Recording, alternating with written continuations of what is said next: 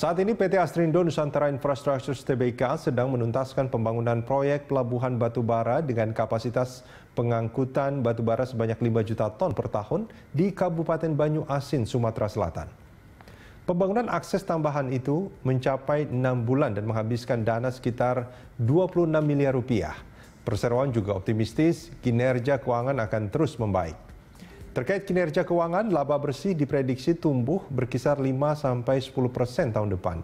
Hingga kuartal 3 2019, laba bersih perseroan naik drastis 478 persen menjadi 12,91 juta dolar Amerika.